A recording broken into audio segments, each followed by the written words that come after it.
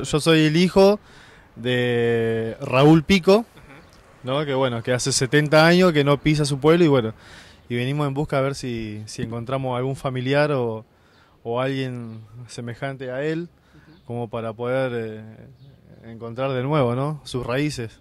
Él hace 70 años se fue de aquí de Wingarnancó. Sí, hace 70 años que se fue de Wingarnancó y bueno, y hoy es la primera vez, la segunda vez que pisa su pueblo y bueno, y queremos ver si, si hay una posibilidad de encontrar algún pariente o alguien cercano que lo conozca como para poder eh, eh, contactar ¿no? con la familia.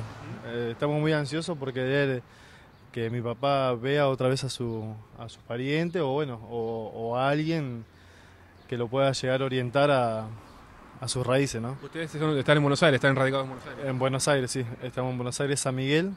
Así que bueno, eh, emprendimos el viaje ayer a las 12 de la noche y bueno, llegamos hoy, ya pasamos por Lincoln, eh, por eh, Realicó primero y bueno, y después vinimos directamente a Wingaranaco. ¿Y cómo surge esto de tener eh, nuevamente contacto? ¿Ustedes en estos años no tuvieron ningún tipo de, de noticias sobre los parientes? Ningún tipo de noticia y bueno, él bueno fue laburante toda la vida hasta que se jubiló y bueno, deci- decidimos...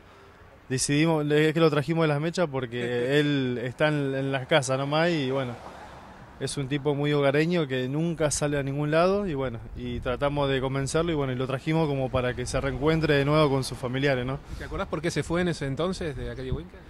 Eh, De Winca se fue, él vivía con la madre, con Encarnación y el papá Juan Bautista Pico y bueno, por un tema de estudio, que no había escuela acá y bueno, así que se fueron directamente para Buenos Aires por un tema de, de progreso, ¿no?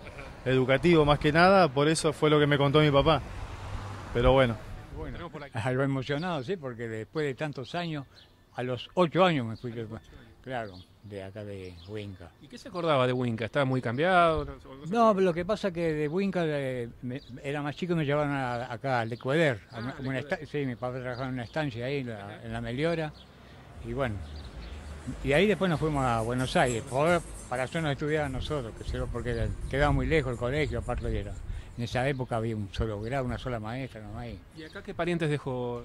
Y acá tenía una prima, prima hermana, sí, que Ailet Pico. Pero por eso la andaba buscando a ver si era un poco mayor que yo. Bueno, parece que hay alguna novedad, ¿no? Porque mientras hablábamos, ojalá. Así, y bueno, vamos a ver. expectativa, ¿no? de Sí, tengo, hay muchos parientes acá, ¿vio? Lo que pasa es que son muchos años que pasaron, ¿vio? Y, y han quedado mejor ahora hay nietos, habrá. Sí.